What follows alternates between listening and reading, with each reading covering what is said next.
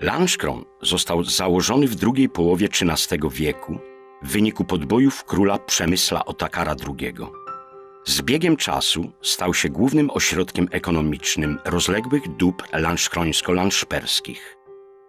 Między historycznymi postaciami mającymi związek z Lanszkronem znajduje się Wacław II, Zawisz z Falkensteina, arcybiskup i kanclerz Karla IV, Petr Jelito, który założył tutejszy klasztor augustiański, później przebudowany na renesansowy zamek.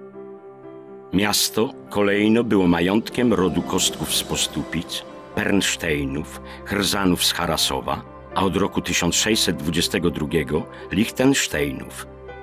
Najwybitniejszym obywatelem miasta był w XVII wieku sławny fizyk, matematyk, astronom, lekarz i filozof, rektor Uniwersytetu Karola i badacz w dziedzinie spektroskopii Jan Marek Marci.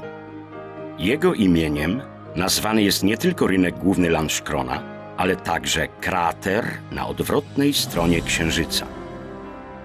Od średniowiecza przetrwał w planie miasta klasyczny, równoboczny kwadrat rynku z unikalnym renesansowym ratuszem po środku.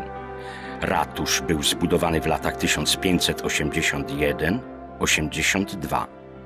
Po wojnie trzydziestoletniej w mieście zaczęli przeważać osadnicy niemieccy.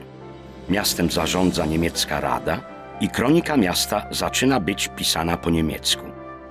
W tamtym czasie także przechodziła przez region lanszkroński znana od średniowiecza historyczna granica czesko-morawska.